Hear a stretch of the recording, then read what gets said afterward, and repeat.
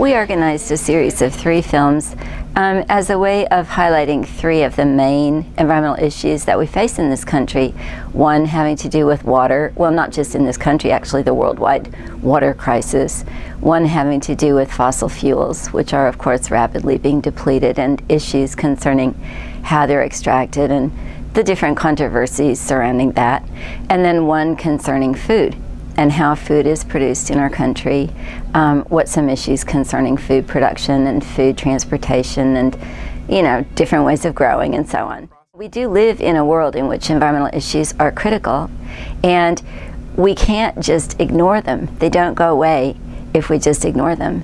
And so I think that the more we can do to engage students in discussion and in different kinds of learning opportunities, the better it is, and the more it's genuinely the um, purview of a liberal arts education.